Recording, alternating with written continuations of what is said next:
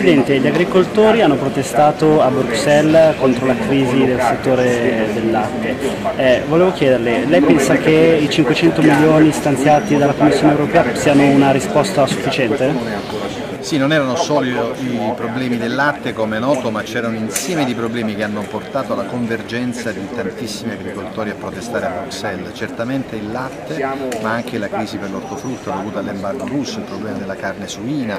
Insomma, è un momento di grande difficoltà perché i prezzi in Europa stanno calando e stanno calando in maniera assolutamente non sostenibile per i redditi degli agricoltori. L'avevamo detto a Hogan come Parlamento europeo, ma ci aveva risposto che presto si sarebbe rivisto visto un andamento in crescita che purtroppo invece continua a non esserci.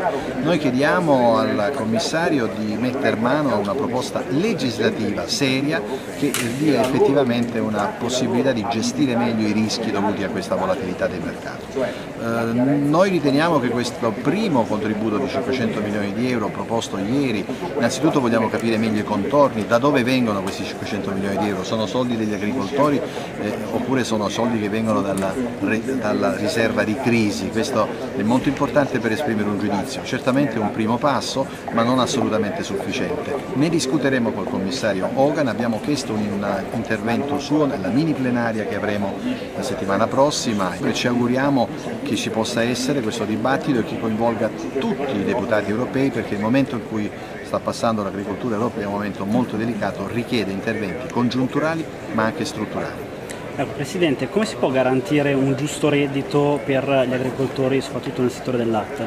Il tema è quello di gestire le crisi, di gestire il rischio. È evidente che la Commissione non può intervenire eh, diciamo, sostituendosi al mercato, ma dobbiamo trovare meccanismi che compensino eh, agricoltori quando abbiamo questi mesi o lunghi mesi di abbassamento di prezzo.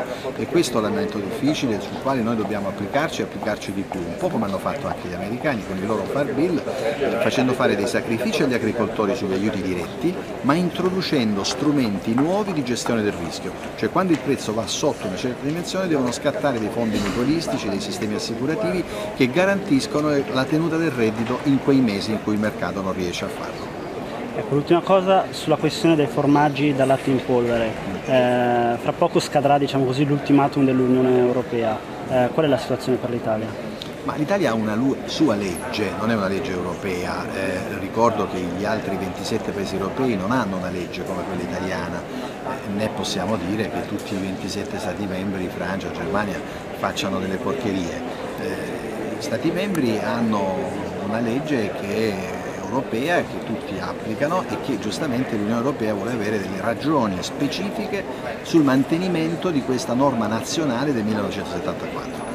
Certamente noi stiamo cercando di spiegare alla Commissione che vogliamo questa specificità italiana, ma io nel frattempo mi metterei eh, diciamo, subito al lavoro per sistemi di etichettatura trasparente per far sapere al consumatore italiano, al consumatore europeo se quello yogurt, quel prodotto lattiero-caseario è stato fatto con latte fresco, è stato fatto con latte in polvere, eh, ricordandoci che ovviamente è poi il consumatore che alla fine decide. Il latte italiano, come sappiamo, per i due terzi va a fare formaggi, per cui quasi tutti i formaggi sono a denominazione d'origine, quindi non c'è questo problema del latte in polvere. Riguarda quella fetta eh, eh, diciamo, di produzione di latte che può andare a fare formaggi industriali e sulla quale l'Unione Europea ci chiede un comportamento omogeneo al resto dei paesi europei. Noi vogliamo mantenere questa specificità, prepariamoci.